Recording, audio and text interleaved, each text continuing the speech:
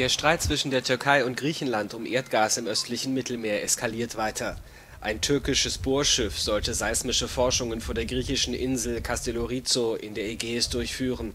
Am Montag teilte der türkische Energieminister mit, die Eurogreis habe den Hafen von Antalya bereits verlassen.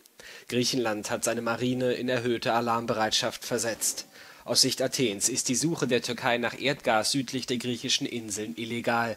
Die Region gehöre zur sogenannten AWZ, der Ausschließlichen Wirtschaftszone des EU-Landes. Die griechische Regierung hat eine Sondersitzung des Rates für Außenthemen und Verteidigung angekündigt. Sie hat außerdem ein Abkommen mit Kairo unterzeichnet, dieses erkennt die nach internationalem Seerecht bestehenden AWZ an